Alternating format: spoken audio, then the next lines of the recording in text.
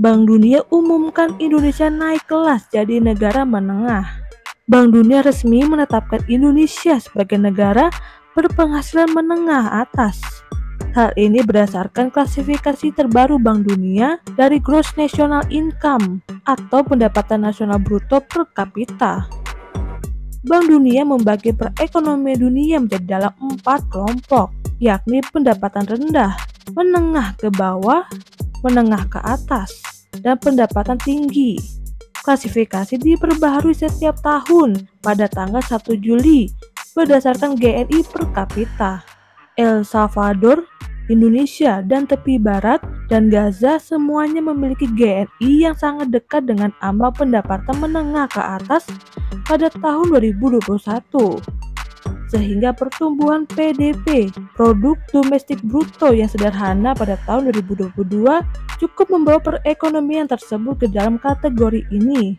Jelas Bank Dunia dikutip dari siaran resminya Selasa 4 Juli 2023 diukur berdasarkan GNI per kapita pada tahun sebelumnya. Maka Bank Dunia menetapkan Indonesia sebagai negara kelas menengah atas.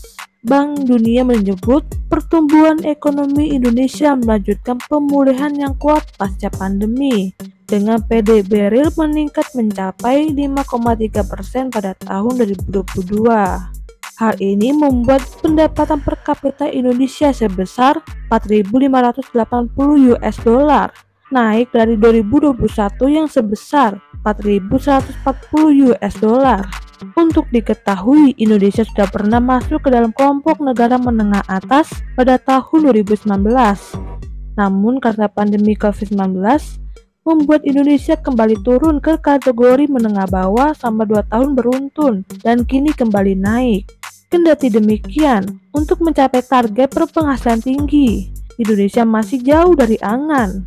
Karena untuk mencapai negara perpenghasilan tinggi, Rata-rata pendapat masyarakatnya harus mencapai 13.845 US dollar.